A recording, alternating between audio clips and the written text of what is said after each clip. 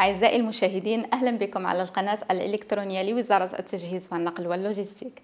اليوم سوف نسلط الضوء على القطاع الطرقي بالمملكة حيث تتوفر البلاد على أكثر من 57 ألف كيلومتر من الطرق المصنفة 74% منها معبدة وأكثر من 840 من الطرق السريعة.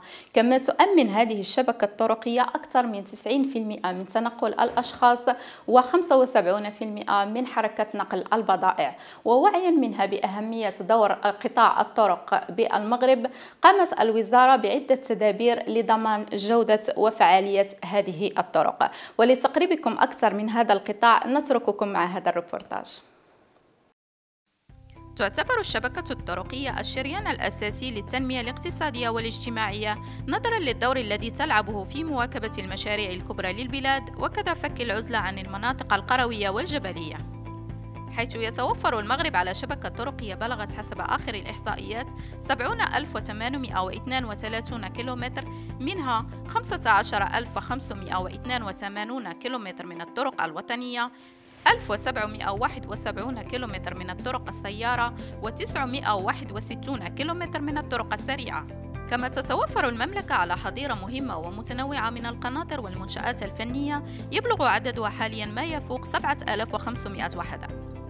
وأخذا بعين الاعتبار التحديات التي تواجهها بلادنا خلال الألفية الثالثة وكذا الأهداف الاستراتيجية المحددة في البرنامج الحكومي قامت وزارة التجهيز والنقل واللوجستيك بإنجاز دراسة تتعلق بوضع مخطط طرقي في أفق سنة 2035 يرتكز على عدة محاور من بينها.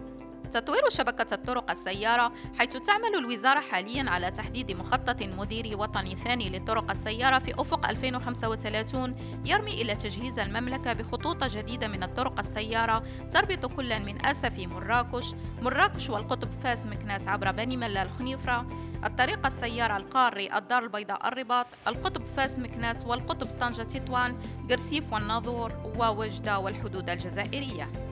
وقد بلغت الاستثمارات في قطاع الطرق السيارة خلال الفترة 2012-2015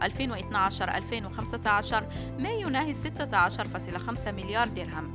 حيث شهدت هذه الفترة عدة منجزات من بينها الطريق المداري للرباط وكذا الجسر المعلق على وادي أبي رقراق والذي يعد أكبر جسر معلق في إفريقيا.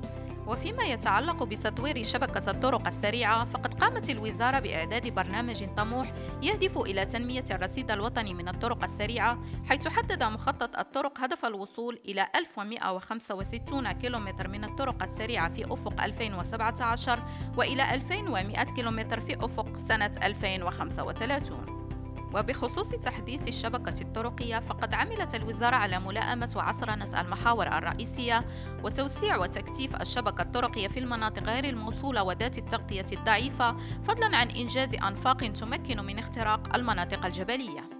ووعيا منها بأهمية صيانة وتثمين الرصيد الطرقي تقوم الوزارة بتقوية وتكسية القارعة للرفع من قدرته على التحمل إنجاز مسلك ثالث بالمقاطع التي تتكون من منحدرات إضافة إلى إنجاز عمليات الصيانة الاعتيادية للطرق. حيث قامت الوزارة خلال الفترة 2012-2015 بإنجاز عملية تقوية 3260 كيلومتر وتكسية 2980 كيلومتر وتوسيع 2381 كيلومتر من الطرق. كما رصدت غلافا ماليا إجماليا بلغ 4950 مليون درهم برسم نفس الفترة وذلك لصيانة وملائمة الشبكة الطرقية. كما تقوم الوزارة بجهود جبارة لإصلاح الأضرار الناجمة عن الفيضانات لإصلاح وتجديد المقاطع الطرقية والمنشآت الفنية المتضررة.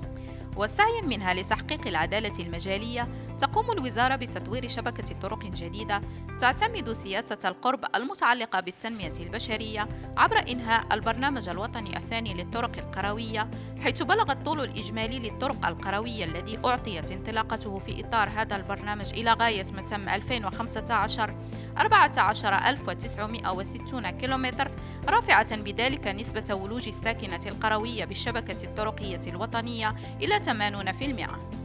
منجزات من بين أخرى تسهر عليها وزارة التجهيز والنقل واللوجستيك من أجل تطوير الشبكة الطرقية لمواكبة عجلة التنمية ببلادنا.